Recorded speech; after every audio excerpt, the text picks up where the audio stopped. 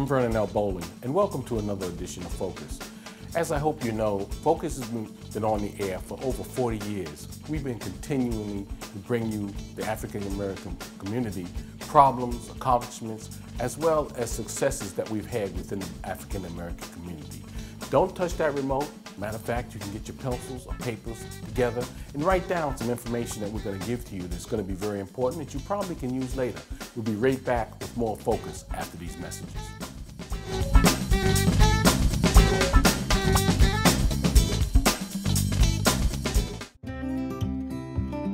Here at the Audubon Center, we connect inner city children with nature. Before I came to Audubon, I didn't think about the environment. I see children discovering a universe that wasn't available to them if the center wasn't here. This place teaches you so much. If there wasn't a place like this, I think a lot of people would be missing out. We count on the lottery to help us fund our programs for K through 12 students. We need more friends like the lottery in the community. A poem by Nikki Giovanni entitled I Take MasterCard, Charge Your Love to Me. I've heard all the stories about how you don't deserve me because I'm so strong and beautiful and wonderful, and you could never live up to what you know I should have. But I just want to let you know I take MasterCard. You can love me as much as your heart can stand, then put the rest on account and pay the interest each month until we get this settled. You see, we modern women do comprehend that we deserve a whole lot more than what is normally being offered, but we are trying to get aligned with the modern world. So, baby, you can love me all you like because you're pre approved, and you don't have to sign on the bottom line. Charge it up till we just can't take no more. It's the modern way. I take MasterCard to see your visa. And I deal with a discovery, but I don't want any American Express. Because, like the Pointer Sisters say, I need a slow hand.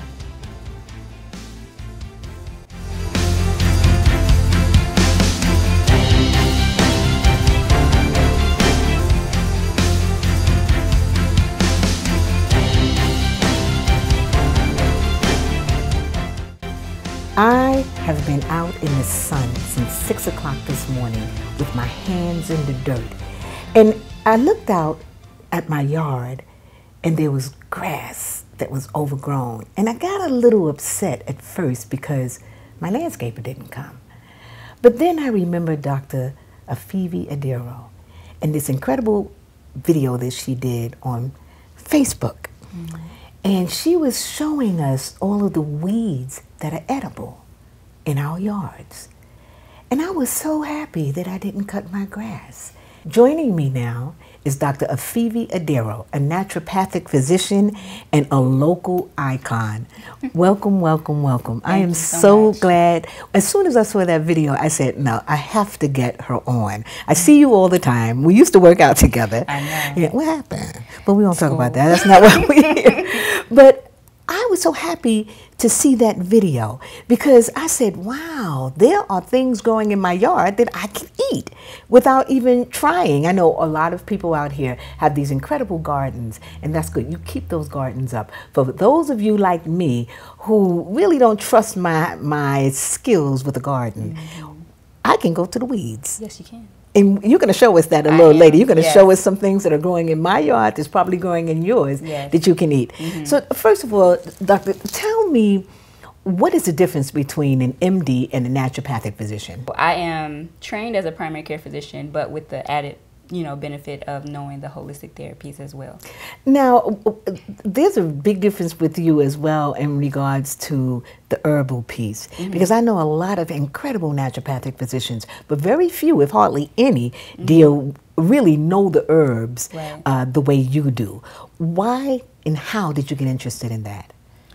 Wow, so that's that's been like kind of a, a journey, uh, just because I feel like it's my my background. Uh, so I'm, as far as like the and the NDs, all of us are trained in botanical medicine uh, to some degree. We all have to take that class, so most of us know about herbs to take. But um, a lot of NDs gravitate towards like the the pre-made formulations like the capsules and the, and like kind of the synthetic uh, nutrients like the man-made uh, supplements, and that's fine. They have their place. But for me, my background, my family, my whole family's from South Carolina, uh, Gullah. They they would live mm. on the Sea Islands, and then even those that moved to the mainland, they still kind of carried those traditions. Mm. And uh, what they call um, like herbal medicine, root medicine, that was a big part of the Gullah culture. So I grew up, even though I unfortunately when i was younger i wasn't as interested in the herbalism but i saw it. You know i saw people using bitters. I saw people talking about you know a dog fennel and using uh, uh, weeds that you could get out in the in the forest or in your backyard. So that always was kind of with me. And then as I got older and I saw people suffering from uh, ailments that conventional medicine couldn't really address properly, I decided that oh maybe I should pick this back up. And then I just it just kind of flourished from there. So I know why I would go to a naturopathic physician, uh, but actually I do both. I do naturopathy and I also go to a medical doctor. But mm -hmm. with mm-hmm. you, I get two, two, two and one. Right. So I get that. But why would one, if they if if they're not anywhere near you, if they can't access you, why mm -hmm. would mm-hmm. one choose a naturopath over a medical doctor? Well, it's pretty much what you what you said. You can get the two doctors in one. So you have somebody who is classically trained in what it what we call Western conventional medicine. So you're saying all naturopaths are, are, classically trained? Oh yeah. So we all go through the same curriculum as the the people who are studying to become an MD. We have the same curriculum, and then we have to go through the same board of licensure when we take our exams. The only thing is that we have added onto that classic curriculum the natural therapies. So with the ND, you really are getting two doctors in one. Uh, but you know, everyone practices differently. Their approaches differently. Like you said, some people don't use the herbs. Some people, you know, have more. Uh, kind of we call it green allopathy, which is green allopathy, kind of using supplements the same that people would use prescriptions, and you know they all have their place. But if somebody is looking to have options, on whether or not they would want to take a prescription or take an herbal if they don't want to do any kind of chemicals. An ND would be a good person to give them the most uh, appropriate uh, approach for what they want um, health wise. So, why why would you choose the herb over the and I know. Yes. But I want you to tell the sure. world. I'll, I'll, explain that. So, um, as far as why choose one over the other, the herbal route versus the chemical drug route, um, yes, the chemical drugs do tend to kind of turn off the body. That's the way that I look at them. So it does make the symptoms go away quicker. Mm-hmm. Whereas if you take an herb, you have to be consistent with a lot of them before they actually you actually see the the benefits of them. So here's where I see, you know, all the branches of medicine having their place um, you know, thank goodness for, you know, like some certain uh, antibiotics and, you know, procedures that are, are, are, good for trauma. And like, like say with a diabetic, if somebody went into a diabetic coma, I'm not going to give them uh, Gymnema or bitter melon. I'm going to, you know, I'm going to tell them to take the person to the hospital and they need insulin. You know, I'm not mm-hmm. going to try to use herbs. So I think everything has their place. But if somebody is like just, or like pre-diabetic or if somebody has been diagnosed with diabetes and they're not in any immediate tra- uh, trauma, you know, or danger, or any condition, if they're not in any immediate uh, danger health wise, it would be a better idea to like to change the diet and then take take the herbs that will support them because not only are the herbs going to get to the root cause, whereas the the chemical drugs go straight to the symptoms. They're not going to have the side effects that a lot of those drugs come along with. So that is the reason why most people choose to to to go the herbal route as um, versus the drug route because they don't want the side effects. Because eventually you're gonna have to start taking medications on top of medications for the side effects of the side effects of the side effects. So herbs just don't give you that. They they heal. You know, they work with the body. They treat the cause, and that's why I feel it's a better approach if you can catch it. Um, now, now there are some um, natural herbs that are grown right here in Arizona. Lots of them. Yes. When we come back, we're going to talk about what a real good healthy course of action is for us. I mean, not only food and exercise, but what are the herbs that we need to have in our medicine cabinet? That's something that we all want to know when we come back.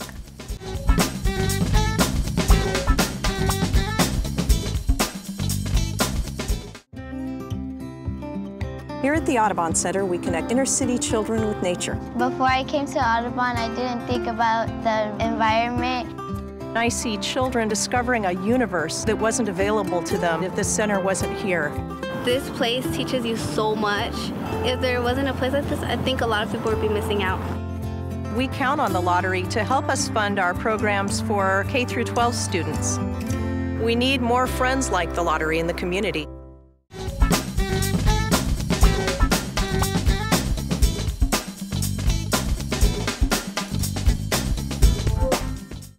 Welcome back. With me today is Dr. Afivi Adero, and we are talking about natural health, natural healing, and some of the herbs that we can find right in our backyard. Yes. As weeds. Now we're going to go out a little later and we're going to take a look at some of the ones that I have in my yard. But before we go, um, what we left with was what is a healthy way of living? Um, and and I'm, I'm speaking specifically with herbs because we already know exercise and we already know that we need to be working on the foods that we eat. But what are some of the herbs that we really need to have in our medicine cabinet and what would be the use for them? Oh wow, there's so many. There's so Just give. Yeah. me some bacon. You know, like uh, Sure. every, everybody has Tylenol in their in their Right. medicine cabinet. So what are the op- the alternatives for that? What about headaches? What about dizziness? Sure. Things like that. Stomach Yeah, aches. Common ailments, right. So for aspirin or any kind of ibuprofen, anti-inflammatory or NSAID, if you're a person that does suffer from headaches or if you're a person that has like pains that you take ibuprofen and aspirin for, white willow bark, um, you can make teas with it. You can get it in a tincture. Uh, you can get it in like the powder, a powdered form in a capsule, and that can be taken. and the that. tincture is a liquid. Tincture's It's- a liquid, It, it comes right. in a little bottle with a little thing. with a dropper. With a an dropper. alcohol extract, right? And you can get glycerites too if you don't do alcohol. White willow bark for pain, um, and then also for um, just for overall inflammation and just keeping the the inflammation, the inflammatory response in the body correct and proper. Uh, turmeric, great spice and herbal to Mm-hmm. use, um, and a, a, a lot of people are getting more hip to, to turmeric and using Now, turmeric. now in, in using turmeric, is it using it on your food as Yes. a spice? Is that good enough, or do you really Yes. need to use it as a tea or something? You can use it throughout the food that you eat. Um, really, just um, because it doesn't have such a, a, a, it's not a very pungent spice. It actually has a very mild flavor. You can just go to town and put it in all the foods that you eat. If you have something more chronic that um, requires more of a more of a, of a umph, you know, you can take the curcumin in a capsule form. But so you can keep it in a capsule form, but also put it in your food because there's something that happens when turmeric is cooked that um, allows it to release a lot more of its properties. And then also the addition of black pepper with turmeric uh, helps it to and they're not really sure what it is, but it just something about the piperine in pepper. It helps it, helps the turmeric to uh, react better in the body. So just cooking it just does more. And, Um, and and what is it good for again? What is inflammation. Inflammation. Inflammation is also very antioxidant and um, anti. Uh, it helps with uh, like tumor growth and cancerous growth. So Okay. it's very very good for that. Um, another uh, are mints. Mints are really good to have around. Mints of all kinds. So not just like um, spearmint and you know the mints Peppermint, that you yeah, mhm. peppermint and things, but also things like. Um, like uh, oregano. Mm-hmm. Oregano is technically in the mint family, but it is a very potent mint. Mm-hmm. Uh, it is antimicrobial, like cross the board. It's kind of like a very broad spectrum antimicrobial. So it's very good for fungal infections, and that's something that a lot of people in Arizona get infected with is fungal uh, respiratory infections that are very uh, difficult to eradicate. Mm-hmm. But something about oregano, it just kind of um, dispels spores. and so so that's once again on the food, or is that as a tea? Right, you can use it as a tea. You can put it in the food again. So you uh, just steep it, boil some water, put it in it, put the, the dried oregano. like a teaspoon. I, I like to say a teaspoon per cup. So you take a teaspoon of the dry herb leaf and then put it in a, a hot cup of water. Never boil leaves, any leaf, any Right. flower tops, because it'll denature the the constituents in the plant. So you can make oregano tea if you're like coming down with a respiratory infection or you have any kind of even if you have like yeast infections. Uh, any infection, you know, sour stomach because you ate something like food poisoning, Mm-hmm. oregano is a great antimicrobial across the board. Oh, that's wonderful. Yeah. So what now? What about stomach aches? Stomach aches.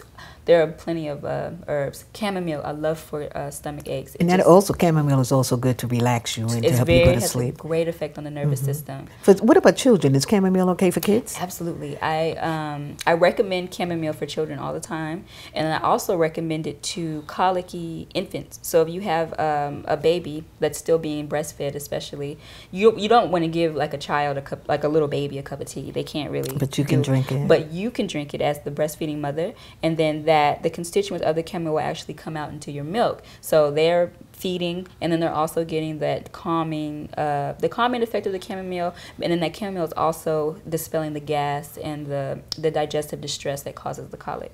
So chamomile is great across the board. And, and once again, chamomile is also good for for for, re, for relaxing, and, and putting you to sleep. yes. Now now what about um? So we did headaches. Did we do headaches? We did headaches. Yeah, that was the white willow bug. Yeah, the white willow bug. That was the very first thing we did. Um, so what about the common cold? Everyone is cold? coming come and they're always pushing these drugs on everyone. Yes. The flu is coming up. Take a flu medication. So what what do you recommend for the common cold? For the common cold, flus, all bugs that come with the seasons, I recommend elderberry, bark, uh, not bark, uh, leaf and the berry. And the reason I say that, uh, you know, everybody goes towards like echinacea and things like that, but actually elderberry has been used more traditionally for colds and flus and viral and bacterial infections. So elderberry again can be made into a tea.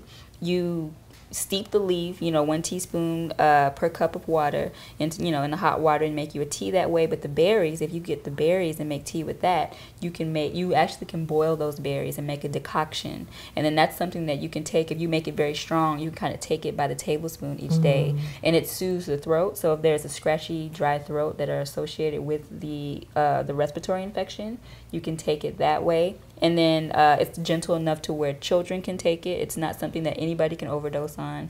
Uh, it boosts the immune system. It stimulates and increases the white blood cells that are supposed to be, you know, killing off the microbes. It's elderberry. I think elderberry is like one of the most uh, underestimated herbs, and I think everyone should have it. Wait, I hear some sisters out there talking about cramps. They're screaming cramps. What Oh, about gosh. cramps? Cramps. What about cramps? What about Yes. cramps? Oh my goodness. Okay, cramping. So one of the best herbs. So now we're talking about herbs that work fast, right? Because we were kind of Yeah, talking right. about that, right? So cramp bark is one of the best herbs for Mm. uh, cramping, hence the name, because it is a, a muscle relaxant. But it has an affinity for the uterus for whatever reason. It just naturally does that. Also, uh, red raspberry can be paired with it because it is a uterine tonic. A lot of times we get cramps because our hormones are um, not in balance.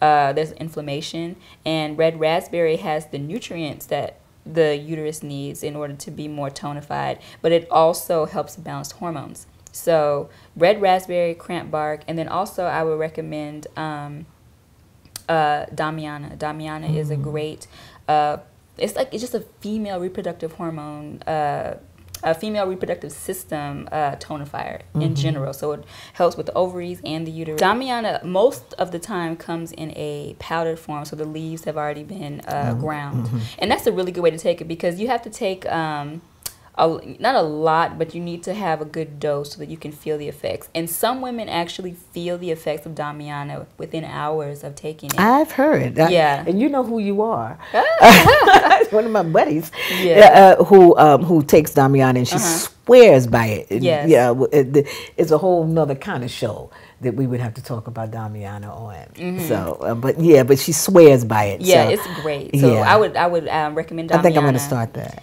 Recommend Damiana, and I gave and I gave you some today too. Oh, I love you. Yes. Okay, quick, quick, quick, because we got to go. Tell me what we got here, Okay. real quick. So here I we have some cat's claw. yes. Or Oh no, some devil's claw. cat's yeah, claw. devil's claw. Is I got some cat's claw in my window in, in my yard. Yes. And you said that that's good for. Uh, that's good for uh, GI inflammation. So Okay. if you have Crohn's, IBS, uh, Okay, anything where there's a disturbed bowel. and this is Devil's claw. Devil's claw. Look at Hence that. the name, you know. And and there's a little pebbles and stuff that's Yeah, inside so that. this the is the seed. seed, pod, the seed pod, pod. of devil's claw. So the seeds come in there, and this is native to the high desert as well. So you use devil's claw for any kind of, of um, like rheumatism. So things like uh, arthritis, osteoarthritis, rheumatoid arthritis, um, any kind of pain pain uh, symptoms in the in the joints Mm-hmm. and um, the musculoskeletal system. Very good for that. It's also a bitter, so it helps uh, with the digestion as well. So Okay, and, and these are stuff. These are things you took out of your yard. yeah, this is what I, I had in my yard. It's a little moist because I wanted to keep them as lively as How possible. cool! And now I see this growing right in my front right now, exactly.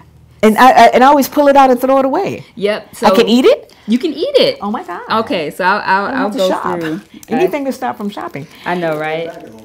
Did you really?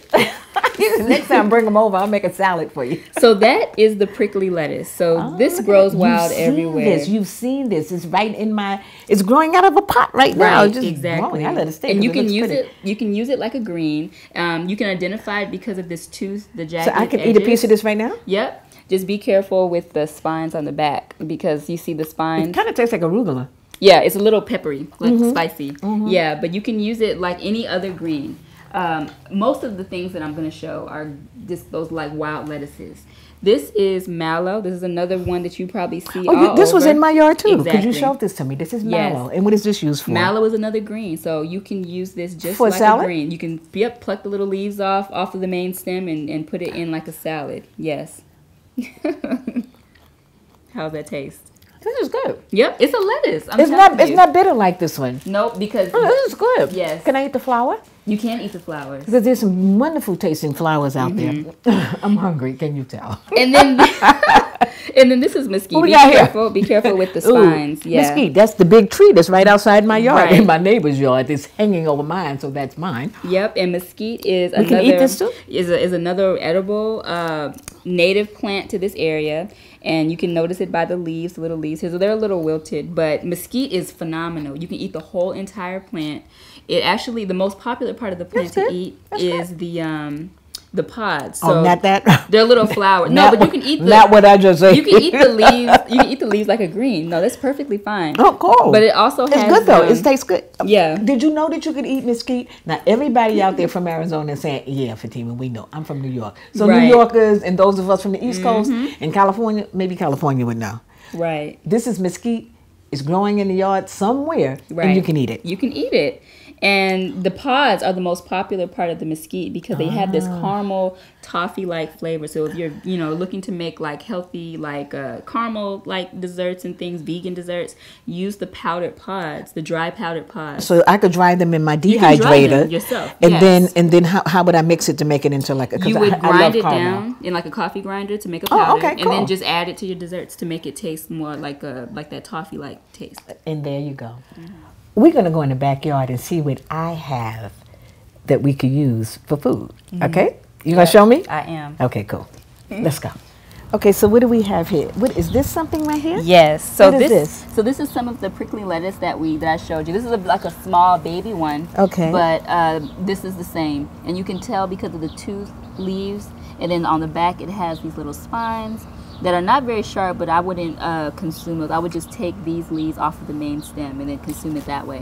Okay, and what do we have here? You said that this this is something as well. Over here we have a mallow. Again, it's smaller, but it's the same. Uh, you can tell by the leaves they have like this, um, again, like kind of that tooth, but it's more like it's kind of like a go-to colo that is more um, serrated. That's the way it looks. So, So is this healthy or is it just tasty? well, uh, it's healthy too because, like all other lettuces, they usually contain a, a lot of B vitamins, vitamin C, other antioxidants, essential oils. So it- it's like any green, and of course you have the chlorophyll aspect, and they've been out in the sun. That's nothing, right? So Now this is cat's claw, and I have plenty of it. Now what can I do with this? Because I'm always cutting it down and throwing it away. So cat's claw is an excellent herb. Um, it's not native to Arizona, but because you ha- it, it grows well here, I see it all over the place. It's good for calming the nervous system as well. So it is actually gentle enough to give to children, and it also has an affinity for the GI tract. So again, if you have in, any kind of inflammatory uh, bowel syndrome, Crohn's, any kind of inflammation of the gut, you can take a tea of the dry herb of, of this plant, and it will it will be very helpful. So you would, if, for, for those of you who don't have a dehydrator, you will put this in the oven or let it let it just dry out. Just cut it Arizona off dry and just put it Yes. outside and let Yes. it. Aren't you kind of close? Yep. Tony? yep. Okay, and this is in HD too. But anyway, you could dry the herb outside in the sun, Yes. or if you have a dehydrator, you could put it in your dehydrator, or you put it in the oven if you just want to do something really quickly. Right. And then just let it dry out, and then you would use it as a tea. Right. Right? Yes, So this is ma'am. exciting. So I have so much You of have that. a bunch of cat's claw. Yeah, I sure do. Wonderful. So um, it's for sale if anybody wants to buy some cat's claw. now this I never wanted to take up because I always thought it looked pretty amongst Yes, the rocks. it is But pretty. Mm-hmm. after a while, I have to, you know. But so you're saying that this is something I can eat? Yeah, that's lamb's quarters. It's a it's a young one. They can get uh, taller and bushier than this. Ooh, okay. Yeah, and then of course if we get more rain, it'll get bushy too. But um, again, this is just another one of those wild lettuce that you can eat. So you can uh, put in salads. You know, you can eat it pretty much the way you would any lettuce. And again, full of B vitamins, antioxidants, chlorophyll. Very good for you. Okay. Mm-hmm. Okay, so now let's go over here and look at this mesquite tree. Yes. Now this is my on, on my neighbor's side, but I am offer, obviously benefiting from it Yes. because here this is my my my grandchildren playing pong, Oh, okay. some kind of pong. yes. It's not beer pong because they're too young.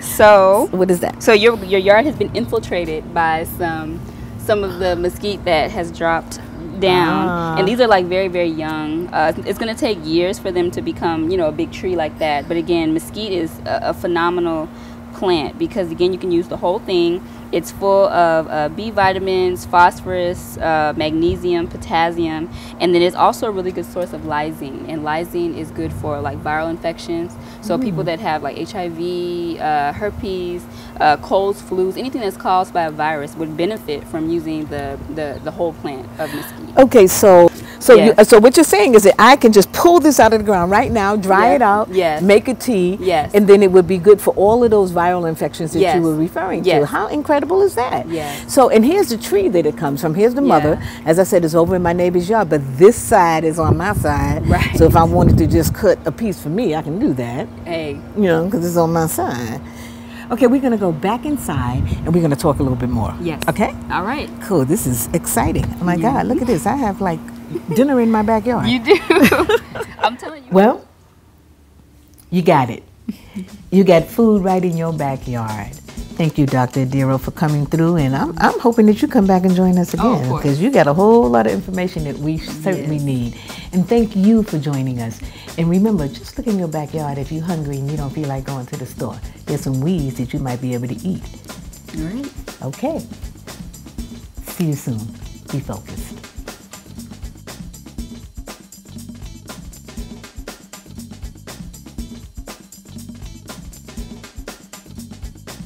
Thank you for joining us for another edition of Focus. And if you'd like to contact us, if there's a topic you'd like to see us present or someone you'd like us to talk to, the information is right up on the screen.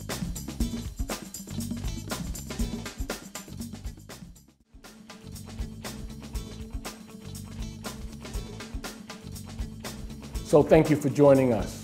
We'll see you next week, same station, same time, when Focus continues.